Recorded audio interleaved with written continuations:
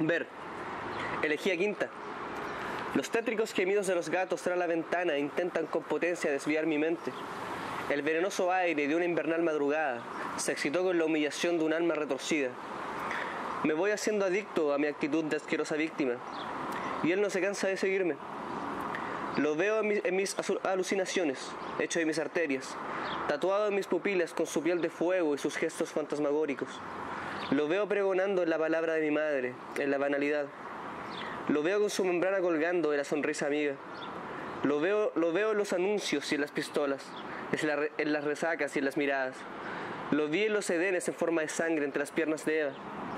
Lo veo fuerte y decidido, deseoso de matarme. Lo veo en la tinta, dándole una tregua definitiva a lo que parecía ser ameno, y su esencia de ángel mutilado será por siempre mi juicio. Nunca tendré el orden necesario para darle un buen ancestro.